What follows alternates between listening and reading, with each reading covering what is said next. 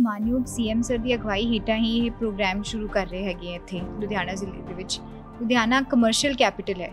ਤੇ ਇਹਦੇ ਵਿੱਚ ਜਿਹੜੀ ਅਸੀਂ ਕਹਿ ਸਕਦੇ ਹਾਂ ਕਿ ਬਿਜ਼ਨਸ ਕਰਨਾ ਜਾਂ ਇੰਡਸਟਰੀਜ਼ ਦਾ ਇੱਥੇ ਇੱਕ ਬਲੱਡ ਦੇ ਵਿੱਚ ਹੀ ਹੈਗਾ ਹੈ। ਐਂਡ ਇੱਥੇ ਬੜੇ ਸਾਰੇ ਇਦਾਂ ਦੇ ਬੇਅਰ ਫੁੱਟ ਆਪਾਂ ਕਹਿ ਸਕਦੇ ਹਾਂ ਐਂਟਰਪ੍ਰੀਨਿਓਰਸ ਆਲਰੇਡੀ ਹੈਗੇ ਹੈ ਜਿਨ੍ਹਾਂ ਨੂੰ ਸ਼ਾਇਦ ਮੌਕਾ ਨਹੀਂ ਮਿਲਦਾ ਕਿ ਉਹ ਆਪਣਾ ਆਈਡੀਆ ਅੱਗੇ ਕਿਸ ਤਰ੍ਹਾਂ ਪੇਸ਼ ਕਰਨ ਜਾਂ ਅੱਗੇ ਕਿਸ ਤਰ੍ਹਾਂ ਰੱਖ ਸਕਣ। ਮਾਨਯੋਗ ਸੀਐਮ ਸਰ ਦੀ ਅਗਵਾਈ ਹੇਠਾਂ ਮਾਸਟਰ ਬਲਾਸਟਰ ਜਿਹੜਾ ਬਿਜ਼ਨਸ ਹੈਗਾ ਉਹ ਵੀ ਸਰਕਾਰੀ ਸਕੂਲਾਂ ਦੇ ਵਿੱਚ ਸ਼ੁਰੂ ਕੀਤਾ ਗਿਆ ਸੀਗਾ। ਸੋ ਸਲੋਲੀ ਸਾਨੂੰ ਦਿਖ ਰਿਹਾ ਹੈ ਕਿ ਉਹ ਉਹ ਜਿਹੜਾ ਚੇਂਜ ਹੈ ਕਲਚਰਲ ਚੇਂਜ ਜ਼ਰੂਰ ਇਹਦੇ ਵਿੱਚ ਨਜ਼ਰ ਅ, ਆਉਣ ਲੱਗ ਗਿਆ ਹੈ। ਸੋ ਅਸੀਂ ਔਮਨ ਦੀ ਇੱਕ ਕੈਟਾਗਰੀਜ਼ ਖਾਸ ਬਣਾਈ ਹੈਗੀ ਹੈ ਅਸੀਂ ਪਰਸਨਸ ਵਿਦ ਡਿਸੇਬਿਲਿਟੀਜ਼ ਦੀ ਇੱਕ ਖਾਸ ਕੈਟਾਗਰੀ ਬਣਾਈ ਹੈਗੀ ਹੈ। ਅਸੀਂ ਸਟੂਡੈਂਟ ਵਰਗ ਲਈ ਜਾਂ ਯੰਗ ਐਂਟਰਪ੍ਰੀਨਿਓਰਸ ਲਈ ਇੱਕ ਖਾਸ ਕੈਟਾਗਰੀ ਬਣਾਈ ਹੈਗੀ ਹੈ। ਪਹਿਲੀ ਵਾਰੀ ਜੋ ਹੈ ਹੋ ਰਿਹਾ ਹੈ ਕਿ ਇੰਡਸਟਰੀ ਦੀ ਇਸ ਵਾਰੀ ਕੋਲੈਬੋਰੇਸ਼ਨ ਬਹੁਤ ਸਾਡੇ ਕੋਲ ਹੋਈ ਹੈ। ਤੇ ਮਲਟੀਪਲ ਰਾਉਂਡਸ ਆਫ ਮੀਟਿੰਗ ਨਾਲ ਤੇ ਮਾਨਯੋਗ ਸੀਐਮ ਸਰ ਦੀ ਜਿਸ ਤਰ੍ਹਾਂ ਨਿਸ਼ਾ ਦਿਸ਼ਾ ਨਿਰਦੇਸ਼ ਸੀਗੇ ਕਿ ਵੱਧ ਤੋਂ ਵੱਧ ਅਸੀਂ ਇਨੋਵੇਸ਼ਨ ਦੇ ਵਿੱਚ ਜਾਈਏ। ਕਿ ਕੋਈ ਵੀ ਕਿਸੇ ਵੀ ਆਈਡੀਆ ਦੇ ਵਿੱਚ ਉਹਨਾਂ ਨੂੰ ਲੱਗਦਾ ਕਿ ਸੀਡ ਫੰਡਿੰਗ ਦੀ ਲੋੜ ਹੈ। ਭਾਵੇਂ ਉਹ ਪਰਸਨ ਜਿਨ੍ਹਾਂ ਨੇ ਆਪਣਾ ਆਈਡੀਆ ਪੇਸ਼ ਕੀਤਾ ਹੈਗਾ ਉਹ ਐਕਚੁਅਲੀ ਜਿੱਤਿਆ ਜਾਂ ਨਹੀਂ ਜਿੱਤਿਆ ਕੰਪੀਟੀਸ਼ਨ ਜੇ ਉਹਦਾ ਆਈਡੀਆ ਇਸ ਤਰ੍ਹਾਂ ਦਾ ਹੈ ਜਿੱਥੇ ਉਹਨਾਂ ਨੂੰ ਲੱਗਦਾ ਕਿ ਚਮਕ ਗਿਆ ਸਾਨੂੰ ਆਈਡੀਆ ਵਧੀਆ ਲੱਗਿਆ ਉਹ ਫਿਰ ਵੀ ਉਹਦੇ ਵਿੱਚ ਆਪਣੀ ਸੀਡ ਫੰਡਿੰਗ ਦਾ ਯੋਗਦਾਨ ਪਾ ਸਕਦੇ ਇੰਸਟੀਟਿਊਸ਼ਨ ਦਾ ਫੋਕਸ ਕਿਸ ਤਰ੍ਹਾਂ ਦਾ ਕਿ ਵੱਧ ਤੋਂ ਵੱਧ ਲੋਕਾਂ ਨੂੰ ਇਨਵੈਸਟਮੈਂਟ ਮਿਲੇ ਜਾਂ ਵੱਧ ਤੋਂ ਵੱਧ ਐਕਸਪੋਜ਼ਰ ਮਿਲੇ? ਸਾਡਾ ਐਕਚੁਅਲੀ ਪੁਆਇੰਟ ਇਹ ਹੈ ਕਿ ਵੱਧ ਤੋਂ ਵੱਧ ਤੁਹਾਨੂੰ ਐਕਸਪੋਜ਼ਰ ਮਿਲੇ ਬਿਕੋਜ਼ ਅਸੀਂ ਚਾਹੁੰਦੇ ਹਾਂ ਕਿ ਇਹਦੇ ਵਿੱਚ ਕੋਈ ਹਾਰੇਗਾ ਤਾਂ ਹੈ ਹੀ ਨਹੀਂ। ਤੁਹਾਡੀ ਕੋਈ ਐਂਟਰੀ ਫੀਸ ਵੀ ਨਹੀਂ ਹੈ ਤਾਂ ਤੁਹਾਡਾ ਕੁਝ ਲੱਗ ਵੀ ਨਹੀਂ ਰਿਹਾ। ਸਿਰਫ ਤੁਹਾਡੀ ਕੈਪੇਬਿਲਿਟੀ ਹੈ ਤੁਹਾਡਾ ਟੈਲੈਂਟ ਹੈ ਤੁਹਾਡਾ ਮਾਈਂਡ ਹੈ ਤੁਹਾਡੀ ਮਿਹਨਤ ਹੈ। ਤੇ ਹਰੇਕ ਬੰਦਾ ਜੋ ਇੱਥੇ ਜਾਂ ਹਰੇਕ ਲੇਡੀ ਜਾਂ ਪਰਸਨ ਵਿਦ ਡਿਸੇਬਿਲਿਟੀ ਜੋ ਵੀ ਸਾਡੀ ਕੈਟਾਗਰੀਜ਼ ਹੈ ਬੱਚੇ, ਜੋ ਵੀ ਪਾਰਟਿਸਿਪੇਟ ਕਰਨਗੇ, ਉਹਨਾਂ ਸਾਰਿਆਂ ਨੂੰ ਇੱਕ ਮੌਕਾ ਮਿਲ ਰਿਹਾ ਹੈ। ਚੈਨਲਸ ਤੇ ਤੁਸੀਂ ਸ਼ਾਰਕ ਟੈਂਕਸ ਦਾ ਦੇਖਿਆ ਹੋਣਾ ਤੇ ਉਹਦਾ ਤੁਹਾਨੂੰ ਪ੍ਰੋਸੀਜਰ ਵੀ ਪਤਾ ਹੋਣਾ ਹੈ ਕਿ ਕਿਸ ਤਰ੍ਹਾਂ ਲੋਕ ਆਪਣੇ ਇਨੋਵੇਟਿਵ ਆਈਡੀਆਜ਼ ਲੈ ਕੇ ਆਉਂਦੇ ਨੇ ਤੇ ਉੱਥੋਂ ਇਨਵੈਸਟਰਸ ਤੋਂ ਆਪਣੀ ਇਨਵੈਸਟਮੈਂਟ ਲੈ ਕੇ ਆਪਣਾ ਅੱਗੇ ਕੰਮ ਕਰਦੇ ਨੇ। ਤਾਂ ਪਹਿਲੀ ਵਾਰ ਪੰਜਾਬ ਦੇ ਵਿੱਚ ਹੋਣ ਜਾ ਰਿਹਾ ਲੁਧਿਆਣਾ ਸ਼ਹਿਰ ਦੇ ਵਿੱਚ ਕਿ ਇੱਥੇ ਦਾ ਜ਼ਿਲ੍ਹਾ ਪ੍ਰਸ਼ਾਸਨ ਇੱਕ ਆਪਣਾ ਸ਼ਾਰਕ ਟੈਂਕ ਸ਼ੁਰੂ ਕਰਨ ਲੱਗਾ ਫਿਊਚਰ ਟਾਈਕੂਨਸ ਜਿਸ ਦਾ ਨਾਮ ਹੈ, ਜਿਸ ਦੇ ਵਿੱਚ ਕ- ਬਹੁਤ ਸਾਰੀਆਂ ਕੈਟਾਗਰੀਜ਼ ਨੇ, ਉਸ ਦੇ ਵਿੱਚ ਲੋਕ ਪਾਰਟਸ ਪਾਰਟ ਲੈਣਗੇ ਤੇ ਜਿਹਦੇ ਵੀ ਸਟਾਰਟਅਪ ਆਈਡੀਆਜ਼ ਵਧੀਆ ਹੋਣਗੇ ਉਸ ਨੂੰ ਇਨਾਮ ਵੀ ਮਿਲੇਗਾ ਤੇ ਸੀਡ ਇਨਵੈਸਟਮੈਂਟ ਵੀ ਸੀਡ ਫੰਡਿੰਗ ਵੀ ਜਿਹੜੀ ਹੈ, ਉਸ ਦੇ ਵਾ- ਉਸ ਦਾ ਵੀ ਪ੍ਰਬੰਧ ਜਿਹੜਾ ਕੀਤਾ ਹੋਇਆ। ਸਾਡੇ ਨਾਲ ਇਸ ਸਮੇਂ ਲੁਧਿਆਣਾ ਦੇ ਡਿਪਟੀ ਕਮਿਸ਼ਨਰ ਸਾਕਸ਼ੀ ਸ਼ਾਨੀ ਮੌਜੂਦ ਨੇ, ਗੱਲਬਾਤ ਕਰਦੇ ਹਾਂ। ਮੈਮ, ਇੱਕ ਜ਼ਿਲ੍ਹਾ ਪ੍ਰਸ਼ਾਸਨ ਆਪਣਾ ਸ਼ਾਰਕ ਟੈਂਕ ਸ਼ੁਰੂ ਕਰਨ ਲੱਗਾ ਹੈ। ਕੀ ਮੈਮ ਇਸ ਦਾ ਕਨਸੈਪਟ ਹੈ ਤੇ ਕਿੰਨਾ ਦੇ ਵਾਸਤੇ ਇਹ ਹੈਗਾ? ਸੋ ਅਸੀਂ ਮਾਨਯੋਗ ਸੀਐਮ ਸਰ ਦੀ ਅਗਵਾਈ ਹੇਠਾਂ ਹੀ ਇਹ ਪ੍ਰੋਗਰਾਮ ਸ਼ੁਰੂ ਕਰ ਰਹੇ ਹੈਗੇ ਇੱਥੇ ਲੁਧਿਆਣਾ ਜ਼ਿਲ੍ਹੇ ਦੇ ਵਿੱਚ। ਲੁਧਿਆਣਾ ਕਮਰਸ਼ੀਅਲ ਕੈਪੀਟਲ ਹੈ। ਤੇ ਇਹਦੇ ਵਿੱਚ ਜਿਹੜੀ ਅਸੀਂ ਕਹਿ ਸਕਦੇ ਹਾਂ ਕਿ ਬਿਜ਼ਨਸ ਕਰਨਾ ਜਾਂ ਇੰਡਸਟਰੀਜ਼ ਦਾ ਇੱਥੇ ਇੱਕ ਬਲੱਡ ਦੇ ਵਿੱਚ ਹੀ ਹੈਗਾ ਹੈ। ਐਂਡ ਇੱਥੇ ਬੜੇ ਸਾਰੇ ਇਦਾਂ ਦੇ ਬੇਅਰਫੁੱਟ ਆਪਾਂ ਕਹਿ ਸਕਦੇ ਹਾਂ ਐਂਟਰਪ੍ਰੀਨਿਓਰਸ ਆਲਰੇਡੀ ਹੈਗੇ ਹੈ ਜਿਨ੍ਹਾਂ ਨੂੰ ਸ਼ਾਇਦ ਮੌਕਾ ਨਹੀਂ ਮਿਲਦਾ। ਕਿ ਉਹ ਆਪਣਾ ਆਈਡੀਆ ਅੱਗੇ ਕਿਸ ਤਰ੍ਹਾਂ ਪੇਸ਼ ਕਰਨ ਜਾਂ ਅੱਗੇ ਕਿਸ ਤਰ੍ਹਾਂ ਰੱਖ ਸਕਣ। ਐਂਡ ਸਪੈਸ਼ਲੀ ਅਸੀਂ ਇਹ ਦੇਖਿਆ ਹੈਗਾ ਹੈ ਕਿ ਜਿੱਦਾਂ ਕਾਫੀ ਅੱਜ ਕੱਲ ਬਹੁਤ ਹੀ ਵਧੀਆ ਉਪਰਾਲੇ ਕਰਕੇ ਕਾਲਜਸ ਦੇ ਵਿੱਚ ਸਕੂਲਸ ਦੇ ਵਿੱਚ ਹੁਣੇ ਇਨਕਿਊਬੇਸ਼ਨ ਲੈਬ ਵਗੈਰਾ ਦੀ ਸ਼ੁਰੂਆਤ ਹੋ ਚੁੱਕੀ ਹੈ। ਇਨਫੈਕਟ ਮਾਨਯੋਗ ਸੀਐਮ ਸਰ ਦੀ ਅਗਵਾਈ ਹੇਠਾਂ ਮਾਸਟਰ ਬਲਾਸਟਰ ਜਿਹੜਾ ਬਿਜ਼ਨਸ ਹੈਗਾ ਉਹ ਵੀ ਸਰਕਾਰੀ ਸਕੂਲਾਂ ਦੇ ਵਿੱਚ ਸ਼ੁਰੂ ਕੀਤਾ ਗਿਆ। ਸੀਗਾ। ਸੋ ਸਲੋਲੀ ਸਾਨੂੰ ਦਿਖ ਰਿਹਾ ਹੈ ਕਿ ਉਹ ਉਹ ਜਿਹੜਾ ਚੇਂਜ ਹੈ ਕਲਚਰਲ ਚੇਂਜ ਜ਼ਰੂਰ ਇਹਦੇ ਵਿੱਚ ਨਜ਼ਰ ਅ, ਆਉਣ ਲੱਗ ਗਿਆ ਹੈ। ਇਸੇ ਤੋਂ ਹੀ ਅਸੀਂ ਅੱਗੇ ਇੱਕ ਰੋਡ ਔਰ ਲੈ ਰਹੇ ਹੈਗੇ ਹਾਂ ਕਿ ਇਹ ਜਿਹੜੀ ਚੀਜ਼ ਹੈ ਜੇ ਸਾਡੇ ਕੋਲ ਆਲਰੇਡੀ ਇੱਕ ਆਈਡੀਆ ਹੈਗਾ ਹੈ ਬਟ ਹੋ ਸਕਦਾ ਹੈ ਕਿ ਹੁਣ ਤੱਕ ਤੁਹਾਡੀ ਕੋਈ ਐਕਸਪੋਜ਼ਰ ਨਹੀਂ ਹੋਈ। ਹੋਊਗੀ ਕਿਸੇ ਐਦਾਂ ਦੀ ਕਲਾਸ ਦੇ ਵਿੱਚ ਜਾਂ ਕਿ ਤੁਸੀਂ ਤੁਹਾਨੂੰ ਕਿਸ ਤਰ੍ਹਾਂ ਪੇਟੈਂਟ ਦੇ ਵਿੱਚ ਦੇ ਲਈ ਅਪਲਾਈ ਕਰਨਾ ਚਾਹੀਦਾ ਹੈ ਜਾਂ ਕੰਪਨੀ ਕਿਸ ਤਰੀਕੇ ਨਾਲ ਫਾਰਮ ਹੁੰਦੀ ਹੈ ਜਾਂ ਤੁਸੀਂ ਜੇ ਆਈਡੀਆ ਪਿਚ ਕਰਨਾ ਹੈ ਉਹ ਕਿਸ ਤਰ੍ਹਾਂ ਕਰਨਾ। ਹੈਗਾ ਹੈ? ਸੋਸ਼ਲ ਮੀਡੀਆ ਨੂੰ ਆਪਣੇ ਬਿਜ਼ਨਸ ਲਈ ਯੂਜ਼ ਕਰਨ ਲਈ ਕਿਸ ਤਰ੍ਹਾਂ ਯੂਜ਼ ਕਰਨਾ ਹੈ? ਇਹ ਚੀਜ਼ਾਂ ਅਸੀਂ ਲਾਸਟ ਮਾਈਲ ਤੱਕ ਲੈ ਕੇ ਜਾਣਾ ਚਾਹੁੰਦੇ ਹਾਂ। ਅਸੀਂ ਸਪੈਸ਼ਲੀ ਇਸ ਵਾਰੀ ਜੋ ਹੈਗਾ ਹੈ ਆਪਣੀ ਕੈਟਾਗਰੀਜ਼ ਸਪੈਸ਼ਲੀ ਅਸੀਂ ਇਹ ਕਰ ਰਹੇ ਹੈਗੇ ਕਿ ਜਿਹੜੀ ਸਾਡੀ ਔਮਨ ਐਂਟਰਪ੍ਰੀਨਿਓਰਸ ਹੈ। ਆਲਰੇਡੀ ਹੈ ਜਾਂ ਬਣਨਾ ਚਾਹੁੰਦੀਆਂ ਨੇ।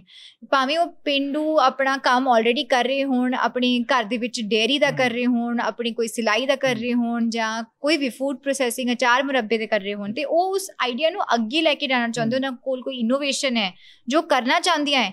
ਪਤਾ ਹੈ ਕਿ ਕਰਨਾ ਕੀ ਹੈ ਬਟ ਕਿਸ ਤਰ੍ਹਾਂ ਕਰਨਾ ਹੈਗਾ ਹੈ ਕਿਸ ਨੂੰ ਮਿਲਣਾ ਹੈਗਾ ਇਹ ਨਹੀਂ ਪਤਾ ਹੈ।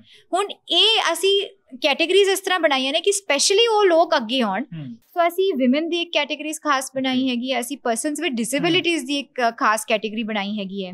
ਅਸੀਂ ਸਟੂਡੈਂਟ ਵਰਗ ਲਈ ਜਾਂ ਯੰਗ ਐਂਟਰਪ੍ਰੈਨਿਓਰਸ ਲਈ ਇੱਕ ਖਾਸ ਕੈਟਾਗਰੀ ਬਣਾਈ ਹੈਗੀ ਹੈ। ਤੇ ਅਸੀਂ ਇੱਕ ਓਪਨ ਕੈਟਾਗਰੀ ਵੀ ਰੱਖੀ ਹੋਈ ਹੈ ਕਿ ਕੋਈ ਵੀ ਹੋਰ ਪਾਰਟਿਸਿਪੇਟ ਕਰ ਸਕਦਾ ਹੈਗਾ। ਐਂਡ ਲਾਸਟ ਅਸੀਂ ਸਪੈਸ਼ਲੀ ਕਲਾਈਮੇਟ ਚੇਂਜ ਨੂੰ ਮੱਦੇਨਜ਼ਰ ਰੱਖਦੇ ਹੋਏ ਅਸੀਂ ਸਸਟੇਨੇਬਿਲਿਟੀ ਦੀ ਇੱਕ ਕੈਟਾਗਰੀ ਬਣਾਈ ਹੋਈ ਹੈ ਕਿ ਸਸਟੇਨੇਬਲ এনवायरमेंट ਐਗਰੀਕਲਚਰ ਤੇ ਫੂਡ ਪ੍ਰੋਸੈਸਿੰਗ ਦੇ ਵਿੱਚ ਕੀ ਹੋ ਸਕਦਾ ਹੈਗਾ ਕੀ ਕੀ ਇਨੋਵੇਟਿਵ ਸੋਲੂਸ਼ਨਸ ਨਿਕਲ ਕੇ ਆ ਸਕਦੇ ਉਹਦੇ ਅਸੀਂ ਇੱਕ ਸਪੈਸ਼ਲ ਕੈਟਾਗਰੀ ਬਣਾਈ ਹੈਗੀ ਹੈ। ਮੈਮ ਇਹ ਕੰਪੀਟੀਸ਼ਨਸ ਕਿਸ ਤਰ੍ਹਾਂ ਹੋਣਗੇ? ਕਿਸ ਤਰ੍ਹਾਂ ਕੈਟਾਗਰਾਈਜ਼ ਕੀਤੇ ਜਾਣਗੇ? ਕਿਸ ਤਰ੍ਹਾਂ ਇਹ ਹੋਣਗੇ? ਤੇ ਕਿਸ ਤਰ੍ਹਾਂ ਉਹਨਾਂ ਨੂੰ ਸੀਡ ਫੰਡਿੰਗ ਦਿੱਤੀ ਜਾਏਗੀ ਜਾਂ ਕਿਸ ਤਰ੍ਹਾਂ ਵਿਨਰ ਚੁਣਿਆ ਜਾਏਗਾ? ਸੋ ਇਹ ਪਹਿਲੀ ਵਾਰੀ ਜੋ ਹੈ ਹੋ ਰਿਹਾ ਹੈ ਕਿ ਇੰਡਸਟਰੀ ਦੀ ਇਸ ਵਾਰੀ ਕੋਲੈਬੋਰੇਸ਼ਨ ਬਹੁਤ ਸਾਡੀ ਕੋਲ ਹੋਈ ਹੈ ਤੇ ਮਲਟੀਪਲ ਰਾਉਂਡਸ ਆਫ ਮੀਟਿੰਗ ਨਾਲ ਤੇ ਮਾਨਯੋਗ ਸੀਐਮ ਸਰ ਦੀ ਜਿਸ ਤਰ੍ਹਾਂ ਨਿਸ਼ਾ ਦਿਸ਼ਾ ਨਿਰਦੇਸ਼ ਸੀਗੇ ਕਿ ਵੱਧ ਤੋਂ ਵੱਧ ਅਸੀਂ ਇਨੋਵੇਸ਼ਨ ਦੇ ਵਿੱਚ ਜਾਈਏ ਸੋ ਇਨਫੈਕਟ ਪੰਜਾਬ ਸਰਕਾਰ ਦੀ ਜਿਹੜੀ ਇਨੋਵੇਸ਼ਨ ਮਿਸ਼ਨ ਪੰਜਾਬ ਹੈਗੀ ਹੈ ਸਟਾਰਟਅਪ ਪੰਜਾਬ ਹੈਗੀ ਹੈ ਉਹਨਾਂ ਦੀ ਹੈਲਪ ਨਾਲ ਅਸੀਂ ਇੰਡਸਟਰੀਅਲਿਸਟ ਨੂੰ ਇੱਥੇ ਮੀਟ ਕੀਤਾ ਤੇ ਲੁਧਿਆਣਾ ਦੀ ਜਿਹੜੀ ਇੰਡਸਟਰੀ ਹੈ ਉਹਨਾਂ ਨੇ ਪਲੇਜ ਕੀਤਾ ਹੈ। ਲਗਭਗ 13.5 ਕਰੋੜ ਰੁਪਏ ਉਹਨਾਂ ਨੇ ਪਲੇਜ ਕੀਤੇ ਕਿ ਉਹ ਸੈਟ ਅਸਾਈਡ ਕਰ ਰਹੇ ਹਨ ਕਿ ਕੋਈ ਵੀ ਕਿਸੇ ਵੀ ਆਈਡੀਆ ਦੇ ਵਿੱਚ ਉਹਨਾਂ ਨੂੰ ਲੱਗਦਾ ਕਿ ਸੀਡ ਫੰਡਿੰਗ ਦੀ ਲੋੜ ਹੈ। ਭਾਵੇਂ ਉਹ ਪਰਸਨ ਜਿਨ੍ਹਾਂ ਨੇ ਆਪਣਾ ਆਈਡੀਆ ਪੇਸ਼ ਕੀਤਾ ਹੈਗਾ ਉਹ ਐਕਚੁਅਲੀ ਜਿੱਤਿਆ ਜਾਂ ਨਹੀਂ ਜਿੱਤਿਆ ਕੰਪੀਟੀਸ਼ਨ ਜੇ ਉਹਦਾ ਆਈਡੀਆ ਇਸ ਤਰ੍ਹਾਂ ਦਾ ਹੈ ਜਿੱਥੇ ਉਹਨਾਂ ਨੂੰ ਲੱਗਦਾ ਕਿ ਚਮਕ ਗਿਆ ਸਾਨੂੰ ਆਈਡੀਆ ਵਧੀਆ ਲੱਗਿਆ ਉਹ ਫਿਰ ਵੀ ਉਹਦੇ ਵਿੱਚ ਆਪਣੀ ਸੀਡ ਫੰਡਿੰਗ ਦਾ ਯੋਗਦਾਨ ਪਾ ਸਕਦੇ ਇਸ ਤੋਂ ਇਲਾਵਾ ਜਿਹੜਾ ਸਾਡਾ ਜਿਹੜੀ ਇਹ ਪੰਜ ਕੈਟਾਗਰੀਆਂ ਮੈਂ ਦਸੀਆਂ ਸੀਗੀਆਂ ਉਹਦੇ ਵਿੱਚ ਫਾਰਮਲ ਵਿਨਰਸ ਵੀ ਜਿਹੜੇ ਹੋਣਗੇ ਅਸੀਂ ਇਨ ਐਨੀ ਕੇਸ ਹਰ ਇੱਕ ਕੈਟਾਗਰੀ ਦੇ ਵਿੱਚ ਤਿੰਨ ਵਿਨਰਸ ਜੋ। ਫਰਸਟ ਸੈਕੰਡ ਥਰਡ ਚੂਜ਼ ਕਰਾਂਗੇ। ਉਹਦੇ ਵਿੱਚ ਸਾਰਿਆਂ ਨੂੰ ਫਰਸਟ ਫਰਸਟ ਦੇ ਵਿੱਚ 30000 ਸੈਕੰਡ ਨੂੰ 20000 ਐਂਡ ਥਰਡ ਨੂੰ 10000 ਰੁਪਏ ਦਾ ਇਨਾਮ ਵੀ ਦਿੱਤਾ ਜਾਵੇਗਾ। ਮੈਂ ਇਹ ਅਪਲਾਈ ਕਿਸ ਤਰ੍ਹਾਂ ਕਰ ਸਕਤੇ ਹੈ ਤੇ ਆਪਣਾ ਆਈਡੀਆ ਲੈ ਕੇ ਆਉਣ ਵਾਸਤੇ ਕਿਸ ਤਰ੍ਹਾਂ ਲੋਕਾਂ ਨੂੰ ਤਿਆਰੀਆਂ ਕਰਨੀਆਂ ਪੈਣਗੀਆਂ ਤੇ ਕਿਸ ਤਰ੍ਹਾਂ ਤੁਹਾਡੇ ਤੱਕ ਉਹ ਪਹੁੰਚ ਕਰ ਸਕਦਾ? ਸੋ ਸਾਡਾ 1 ਮਹੀਨੇ ਲਈ ਜਿਹੜਾ ਰਜਿਸਟ੍ਰੇਸ਼ਨ ਪ੍ਰੋਸੈਸ ਖੁੱਲਾ ਹੋਇਆ ਹੈ ਉਹਦੇ ਵਿੱਚ ਇੱਕ ਤਾਂ ਸਾਡਾ ਪੋਰਟਲ ਹੀ ਹੈਗਾ www.futuretycoons.in ਅਸੀਂ ਪ੍ਰੈਸ ਨੋਟ ਚ ਵੀ ਰਿਲੀਜ਼ ਕਰ ਦਾਂਗੇ। ਸਪੈਸ਼ਲੀ ਅਸੀਂ ਅਸੀਂ ਜਾਣਦੇ ਹਾਂ ਕਿ ਕਾਫੀ ਲੋਕਾਂ ਨੂੰ ਇੰਟਰਨੈਟ ਯੂਜ਼ ਕਰਨ ਚ ਡਿਫਿਕਲਟੀ ਆ ਸਕਦੀ ਹੈਗੀ ਹੈ। ਤਾਂ ਅਸੀਂ ਕਿਊ ਆਰ ਕੋਡ ਹਰ ਥਾਂ ਤੇ ਲਾਏ ਹੋਏ ਜਿਨ੍ਹਾਂ ਦਾ ਸਮਾਰਟਫੋਨ ਹੈ ਉਹ ਆਪਣਾ ਸਮਾਰਟਫੋਨ ਕਰਕੇ ਉਹ ਲੌਗਇਨ ਵੀ ਕਰ ਸਕਦੇ ਹੈਗੇ ਹੈ। ਤੀਜਾ ਜਿਹੜਾ ਹੈਗਾ ਹੈ ਸਾਡੀ ਜ਼ਿਲ੍ਹੇ ਦੀ ਵੈਬਸਾਈਟ ਦੇ ਉੱਤੇ ਵੀ ਲਿੰਕ ਅਸੀਂ ਪਾਈ ਹੋਈ ਹੈ। ਐਂਡ ਮੋਸਟ ਇੰਪੋਰਟੈਂਟਲੀ ਜਿਨ੍ਹਾਂ ਨੂੰ ਇਹ ਇੰਟਰਨੈਟ ਨਾਲ ਜਾਂ ਇਹਨੇ ਉਹ ਨਹੀਂ ਹੈਗੇ ਹੈ ਕੰਫਰਟੇਬਲ ਯੂਜ਼ ਕਰਨ ਦੇ ਵਿੱਚ ਅਸੀਂ ਸਪੈਸ਼ਲੀ ਇੱਕ ਹੈਲਪਲਾਈਨ ਨੰਬਰ ਮੋਬਾਈਲ ਨੰਬਰ ਦਿੱਤਾ ਹੋਇਆ ਹੈ ਜਿਹਦੇ ਤੇ ਤੁਸੀਂ ਕਾਲ ਕਰ ਸਕਦੇ ਹੋ ਤਾਂ ਅਸੀਂ ਤੁਹਾਨੂੰ ਹੈਲਪ ਕਰਾਂਗੇ। ਮੈਮ ਐਡਮਿਨਿਸਟ੍ਰੇਸ਼ਨ ਦਾ ਫੋਕਸ ਕਿਸ ਤਰ੍ਹਾਂ ਕਿ ਵੱਧ ਤੋਂ ਵੱਧ ਲੋਕਾਂ ਨੂੰ ਇਨਵੈਸਟਮੈਂਟ ਮਿਲੇ ਜਾਂ ਵੱਧ ਤੋਂ ਵੱਧ ਐਕਸਪੋਜ਼ਰ ਮਿਲੇ? ਸਾਡਾ ਐਕਚੁਅਲੀ ਪੁਆਇੰਟ ਇਹ ਹੈ ਕਿ ਵੱਧ ਤੋਂ ਵੱਧ ਤੁਹਾਨੂੰ ਐਕਸਪੋਜ਼ਰ ਮਿਲੇ ਬਿਕੋਜ਼ ਅਸੀਂ ਚਾਹੁੰਦੇ ਹਾਂ ਕਿ ਇਹਦੇ ਵਿੱਚ ਕੋਈ ਹਾਰੇਗਾ ਤਾਂ ਹੈ ਹੀ ਨਹੀਂ। ਤੁਹਾਡੀ ਕੋਈ ਐਂਟਰੀ ਫੀਸ ਵੀ ਨਹੀਂ ਹੈ ਤਾਂ ਤੁਹਾਡਾ ਕੁਝ ਲੱਗ ਵੀ ਨਹੀਂ ਰਿਹਾ। ਸਿਰਫ ਤੁਹਾਡੀ ਕੈਪੇਬਿਲਿਟੀ ਹੈ ਤੁਹਾਡਾ ਟੈਲੈਂਟ ਹੈ ਤੁਹਾਡਾ ਮਾਈਂਡ ਹੈ ਤੁਹਾਡੀ ਮਿਹਨਤ ਹੈ। ਤੇ ਹਰ ਇੱਕ ਬੰਦਾ ਜੋ ਇੱਥੇ ਜਾਂ ਹਰ ਇੱਕ ਲੇਡੀ ਜਾਂ ਪਰਸਨ ਵਿਦ ਡਿਸੇਬਿਲਿਟੀ ਜੋ ਵੀ ਸਾਡੀ ਕੈਟਾਗਰੀਜ਼ ਹੈ ਬੱਚੇ ਜੋ ਵੀ ਪਾਰਟਿਸਿਪੇਟ ਕਰਨਗੇ ਉਹਨਾਂ ਸਾਰਿਆਂ ਨੂੰ ਇੱਕ ਮੌਕਾ ਮਿਲ ਰਿਹਾ। ਹੈ। ਉਹ ਮੌਕਾ ਜਿਹੜਾ ਤੁਸੀਂ ਵਰਡ ਯੂਜ਼ ਕੀਤਾ ਐਕਸਪੋਜ਼ਰ ਮਿਲ ਰਿਹਾ ਹੈ ਜੋ ਕਿ ਸ਼ਾਇਦ ਉਸ ਐਕਸਪੋਜ਼ਰ ਦੀ ਕਮੀ ਨਾਲ ਹੀ ਲੋਕ ਜਾਂ ਤਾਂ ਆਪਣੇ ਅੰਦਰ ਇੰਨਾ ਕੌਨਫੀਡੈਂਸ ਨਹੀਂ ਮਹਿਸੂਸ ਕਰਦੇ। ਹੁਣ ਇੱਕ ਕੌਨਫੀਡੈਂਸ ਵੀ ਨਿਕਲ ਕੇ ਆਏਗਾ ਕਿ ਮੈਂ ਵੀ ਇਹ ਚੀਜ਼ ਅੱਗੇ ਸਾਰਿਆਂ ਦੇ ਸਾਹਮਣੇ ਪੇਸ਼ ਕਰ ਸਕਦੀ ਹਾਂ। ਜ਼ਰੂਰੀ ਨਹੀਂ ਹੈ ਕਿ ਮੈਂ ਗ੍ਰੈਜੂਏਟ ਹੋਵਾਂ। ਮਤਲਬ ਮੇਰਾ ਇਹ ਪੁਆਇੰਟ ਹੈ ਕਿ ਜੇ ਤੁਹਾਡੇ ਵਿੱਚ ਇੱਕ ਆਈਡੀਆ ਹੈਗਾ ਅਸੀਂ ਉਸ ਚੀਜ਼ ਨੂੰ ਲੈ ਕੇ ਆਵਾਂਗੇ ਤੁਹਾਡੇ ਨਾਲ ਅਸੀਂ ਪੂਰਾ ਸਪੋਰਟ ਦੇਵਾਂਗੇ ਮੈਂਟਰਸ਼ਿਪ ਦੇਵਾਂਗੇ। ਤੇ ਇੱਕ ਮੋਸਟ ਇੰਪੋਰਟੈਂਟ ਗੱਲ ਇਹ ਹੈ ਕਿ ਜਿਹੜੇ ਜਿੱਤਣਗੇ ਉਹ ਤਾਂ ਚਲੋ ਜਿੱਤ ਗਏ। ਬਟ ਤੁਹਾਨੂੰ ਇੰਨਾ ਵਧੀਆ ਐਕਸਪੋਜ਼ਰ ਮਿਲ ਰਿਹਾ ਤੁਹਾਨੂੰ ਇੰਨੇ ਲੋਕ ਦੇਖ ਰਹੇ ਹੈਗੇ ਜਿਹੜੇ ਇੰਡਸਟਰੀ ਵਾਲੇ ਹੈਗੇ ਕਿ ਹੋ ਸਕਦਾ ਹੈ ਕਿ ਭਾਵੇਂ ਤੁਸੀਂ ਨਹੀਂ ਵੀ ਜਿੱਤੇ ਬਟ ਤੁਹਾਡਾ ਆਈਡੀਆ ਕਿਸੇ ਨੂੰ ਇੰਨਾ ਜੱਜ ਗਿਆ ਕਿ ਤੁਹਾਨੂੰ ਇੱਕ ਮੌਕਾ ਮਿਲ ਗਿਆ। ਪਲੱਸ ਜੋ ਅਸੀਂ ਹੁਣ ਤੁਹਾਨੂੰ ਦੱਸਿਆ ਕਿ ਕਿਸ ਤਰ੍ਹਾਂ ਕੰਪਨੀ ਬਣਾਣੀ ਹੈ ਟ੍ਰੇਡਮਾਰਕ ਕਿਸ ਤਰ੍ਹਾਂ ਹੁੰਦਾ ਹੈਗਾ ਹੈ ਬ੍ਰਾਂਡਿੰਗ ਕਿਸ ਤਰ੍ਹਾਂ ਹੁੰਦੀ ਹੈਗੀ ਹੈ ਇਹ ਸਾਰੀਆਂ ਚੀਜ਼ਾਂ ਵੀ ਸਿੱਖਣ ਨੂੰ ਮਿਲਣਗੀਆਂ। ਤੇ ਇੱਕ ਇੱਥੇ ਆਪਣਾ ਕੰਪੀਟੀਸ਼ਨ ਜਦੋਂ ਫਿਨਾਲੇ ਹੋ ਜਾਂਦਾ ਹੈ ਉਹ ਉਹ ਖਤਮ ਨਹੀਂ ਹੁੰਦਾ। ਇੱਕ ਲਾਈਫ ਲੌਂਗ ਇੱਕ ਸਪੋਰਟ ਸਿਸਟਮ ਤੁਹਾਨੂੰ ਮਿਲ ਜਾਏਗਾ। through our networking ਜੋ ਅਸੀਂ ਨੈਟਵਰਕਿੰਗ ਇੱਕ ਨੈਟਵਰਕ ਅਸੀਂ ਬਣਾਵਾਂਗੇ of investors of industry and of all participants ਤਾਂ ਹਮੇਸ਼ਾ ਲਈ ਤੁਹਾਨੂੰ ਇੱਕ ਗਾਈਡੈਂਸ ਮਿਲਦੀ ਰਹੇਗੀ। ਮੈਨੂੰ ਲੱਗਦਾ ਕਿ ਇਸ ਦੇ ਨਾਲ ਲੁਧਿਆਣਾ ਇੰਡੀਆ ਦਾ ਪਹਿਲਾ ਡਿਸਟ੍ਰਿਕਟ ਬਣ ਜਾਏਗਾ। ਕੁਝ ਐਦਾਂ ਦਾ ਇਨੋਵੇਟ ਕਰ ਰਿਹਾ ਜਿਸ ਦੇ ਨਾਲ ਸਟਾਰਟਅਪਸ ਨੂੰ ਆਈਡੀਆ ਮਿਲੇ ਲੋਕਾਂ ਨੂੰ ਇਨਵੈਸਟਮੈਂਟ ਮਿਲੇ। ਲੱਗਦਾ ਕਿ ਸੁਨਹਿਰੀ ਅੱਖਰਾਂ ਦੇ ਵਿੱਚ ਲੁਧਿਆਣੇ ਦਾ ਵੀ ਨਾਮ ਲਿਖਿਆ ਜਾਏਗਾ ਕਿ ਫਸਟ ਟਾਈਮ ਕੋਈ ਸਟੇਟ ਦੇ ਕਿਸੇ ਡਿਸਟ੍ਰਿਕਟ ਨੇ ਐਦਾਂ ਦਾ ਕੰਮ ਕੀਤਾ ਤੇ ਉਹ ਦੂਜੀਆਂ ਸਟੇਟ ਵਾਸਤੇ ਰੋਲ ਮਾਡਲ ਵੀ ਬਣੇ। ਡੈਫੀਨਿਟਲੀ ਇਨ ਫੈਕਟ ਅਸੀਂ ਪਟਿਆਲਾ ਦੇ ਵਿੱਚ ਜਦੋਂ ਸ਼ੁਰੂ ਕੀਤਾ ਸੀਗਾ ਤਾਂ ਇਹ ਪੰਜਾਬ ਸਰਕਾਰ ਵੱਲੋਂ ਅੱਗੇ ਸਾਰੇ ਜ਼ਿਲ੍ਹੇ ਦੇ ਜ਼ਿਲ੍ਹਿਆਂ ਦੇ ਵਿੱਚ ਲੈ ਕੇ ਗਏ ਸੀਗੇ।